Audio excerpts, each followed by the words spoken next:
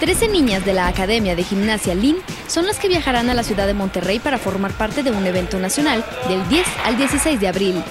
El objetivo es para el próximo Campeonato Nacional de Gimnasia Artística Femenil que se va a llevar a cabo en la ciudad de Monterrey del día 10 al 16 de abril. ¿Cuántas niñas de esta academia participarán? Son 13 niñas que van desde la categoría de 9-10 años hasta la categoría de 14-15 años. ¿Cuánto tiempo, esfuerzo, dedicación les ha costado tener la posibilidad de asistir a este evento?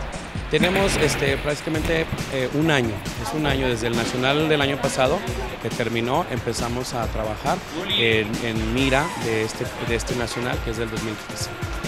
¿Hay posibilidad de que niños de esta academia representen a Durango en la próxima Olimpiada? Sí, llevamos dos representantes, una en la categoría es A, que es clase 5A, y una en la categoría 3A difícil es sobresalir en esta disciplina?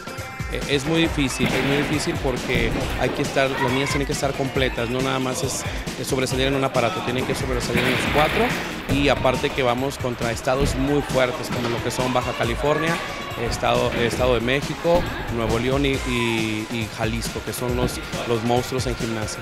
¿Cómo creen que les vaya? Eh, nos hemos preparado a mucha conciencia y sí esperamos que nos vaya mucho mejor que el año pasado y de hecho esperamos este, con una de las niñas que va a la Olimpiada que sí le estamos pronosticando que, que sí pase a la Olimpiada Juvenil.